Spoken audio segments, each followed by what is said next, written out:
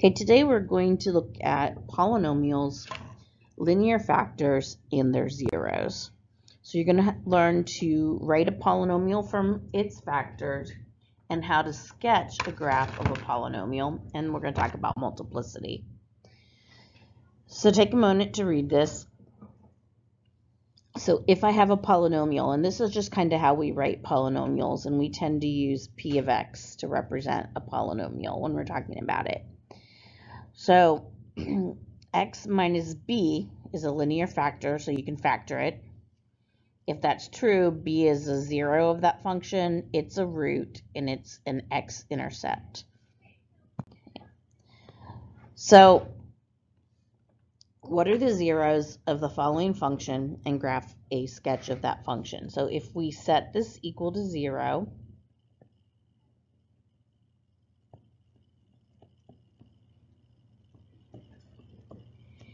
and we solve, that'll give us the zeros. Okay.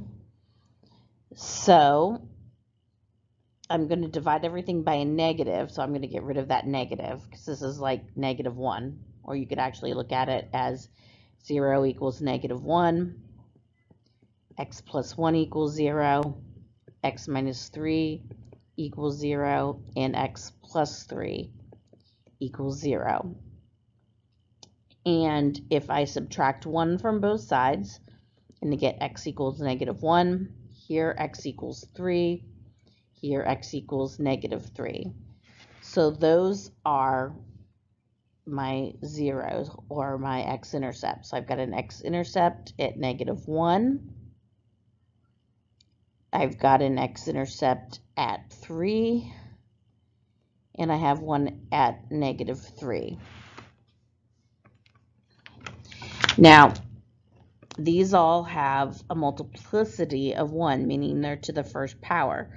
So what they're going to do is they're actually going to go through the axes they tend to act like um, their multiplicity. And we'll talk a little bit about that in a minute. Um, so if I were to look at this real quickly, I know that this is the degree of 3. I don't need to multiply this all out, but I know that I'm going to get x times x times x is going to give me x cubed. Okay. I know that my leading coefficient, if I was to divide that in, is negative. Okay, so we know that it's going to end down. It's cubed so that it's the opposite end behavior, so it's going to start um, up. So it's going to, our end behavior is going to look like that. So I'm just asking kind of for a rough, rough sketch. The other thing that I can do is I can find the y-intercept, and that's where x equals 0. So if I was to put 0 in up here, I would get negative 1 times negative 3 times 3, which would give me a y-intercept of positive 9. So be right about there. So it's going to give me a rough idea of what my graph is going to look like. So I'm going to start up and we'll talk about how to find more specifics later. But we're going to start up, we're going to curve somewhere, we're going to go up to here, and we're going to end down. So it's going to look something like that. Notice that my degree is 3 and I've got one, two different turning points. Okay. So we talk about um, multiplicity. It has repeated linear factors and we say that has a multiplicity at 0. So if I was going to look at that graph real quickly, Okay. And I've got x cubed, so if I set these equal to 0, x cubed equals 0, x minus 3 equals 0, and x minus 3 equals 0. So x here equals 0 with a multiplicity of 3. And here these are the same factors. So x equals 3 and it has a multiplicity of 2. And that affects your graph. So at the point 0, it's going to behave like a cubic. So if you remember, a cubic looks a little bit like this, right? So it's going to have that little funky curve in there, whether it's up or down. It's just going to look like this. Multiplicity of 2 is a quadratic, so it's going to look like this here. So here, when it's a multiplicity of 3, it's going to cut through the, or it's going to just kiss the axis. So if I was just doing a rough sketch, I'm going to have an intercept here and an intercept here. Okay, if I were to multiply all of this out, I've got 3, 4, 5, so I've got a degree of 5. Okay, and my leading coefficient is positive, so it's positive, so my end behavior over here is going to be up, it's odd, so it's going to be opposite. Okay, so this is going to start down and rise and end rising.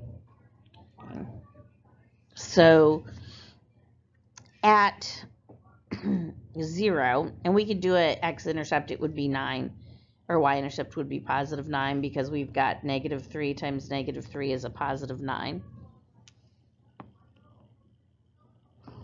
Or y-intercept Sorry, actually, we don't have a y-intercept because if I put 0 in here, I'm going to get 0 times um, negative 3 times negative 3, which is 0, so the y-intercept is 0. So I'm going to start down here. At 0, I'm going to make a little curve. Okay. And someplace up here, we're going to have a turning point, a maximum. When it gets to 3, it's going to behave like a quadratic. So right at 3, it's going to behave roughly like this. Okay, so when I'm asking for a sketch, I'm not, this is kind of what I'm looking for right now. I'm looking for turning points. I'm looking for behavior. Okay. And so again, we talked about this already. Um, so with your 4x to the fourth minus 2x cubed minus 8x squared, if I were to factor this, I would factor out an x squared and get x squared minus 2x minus 8.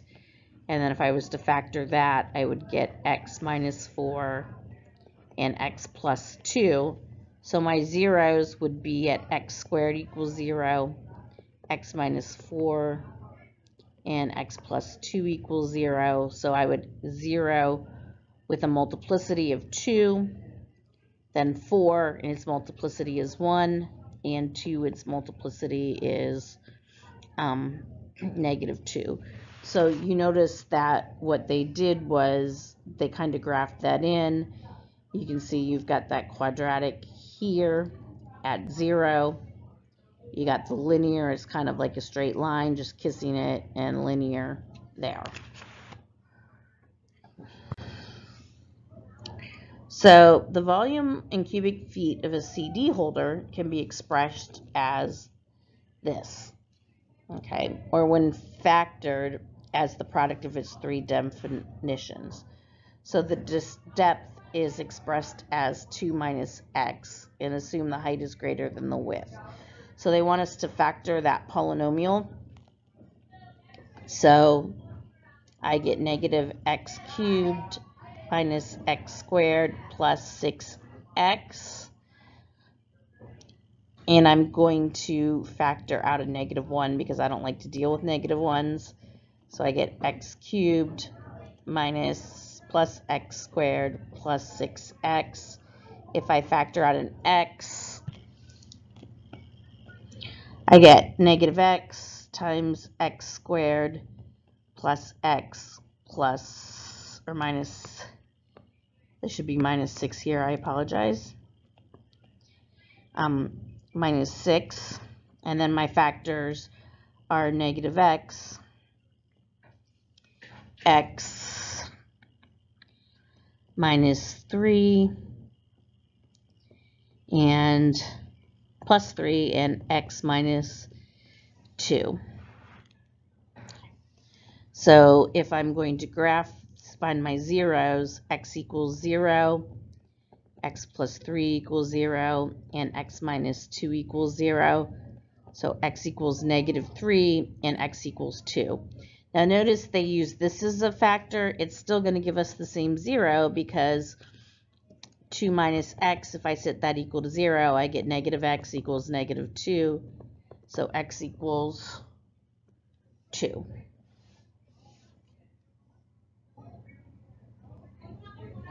Okay, so it says to graph the function and find our x-intercepts. So I've got 0 here, negative 3 here, and 2 are my zeros.